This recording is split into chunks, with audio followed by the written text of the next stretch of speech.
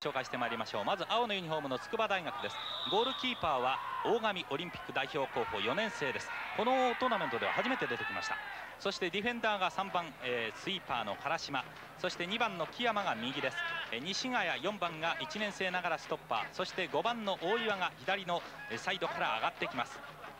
えー、6番ミッドフィールダーの藤田ゲームメイクをいたします、えそして9番の望月フリーキックロングスローもあります。15番の土井2年生20番の上野優作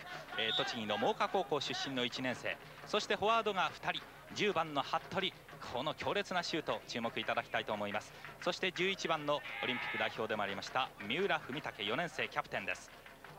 ちょっと今